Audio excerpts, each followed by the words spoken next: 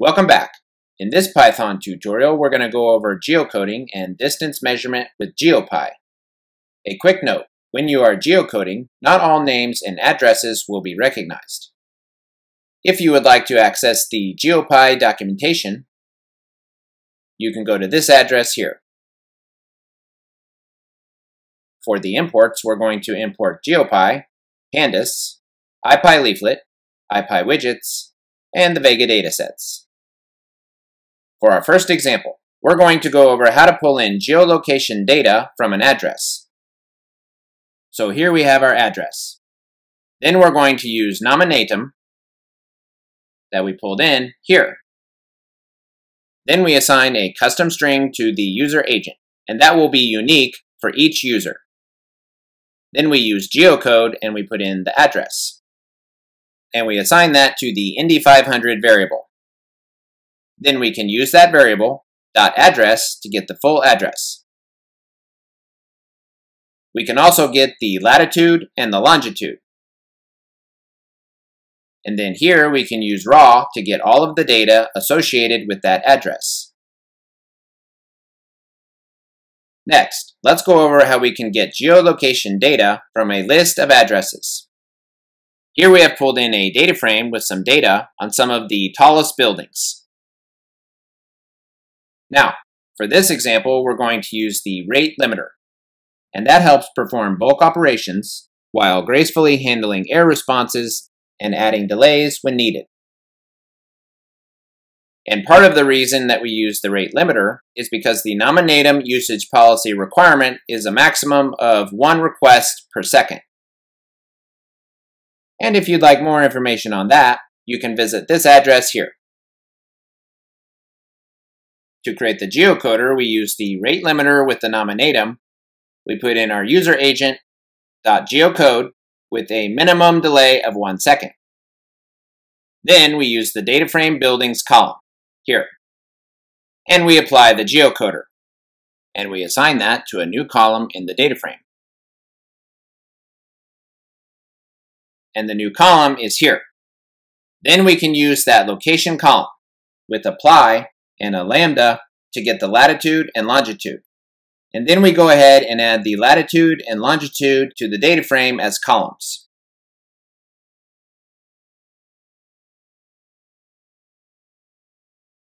Another thing you can do with GeoPy is to get the address from the latitude and longitude. For this example, we're going to use the airports data frame from the Vega datasets. Then we go ahead and use Nominatim with reverse, and we put in the latitude and the longitude, which would be this latitude and longitude here. And we assign that to the airport variable.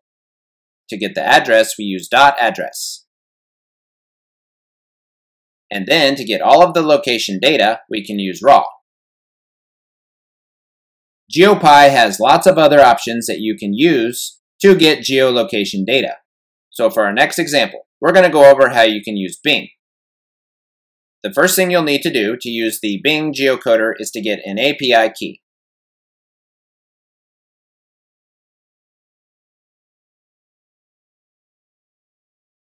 Okay, the first thing we did is we used geopy.geocoders.bing. Then we put in our API key. Then we use geocode and we put in the address.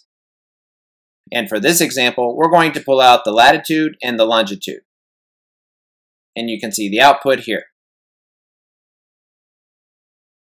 For more information on the other geocoder services you can use, just check out the GeoPy documentation. Now, let's go over an example on how to use GeoPy to calculate distances.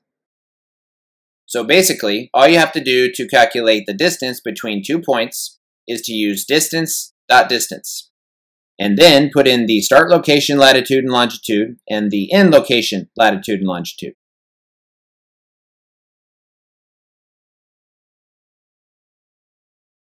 To import the distance, we use from GeoPy import distance. So for this example, we used our data frame which is the distance from the Thigpen Airport to the Livingston Airport.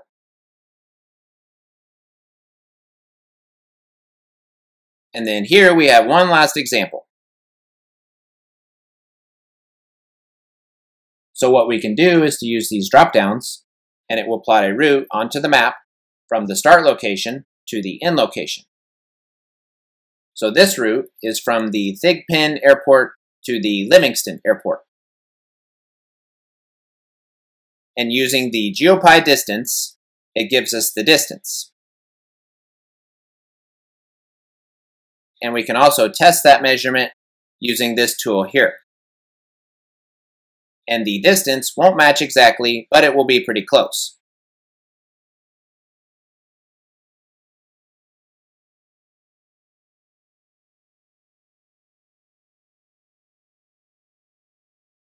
So here we have an example from the capital airport to the DeKalb airport with a distance of about 200 miles.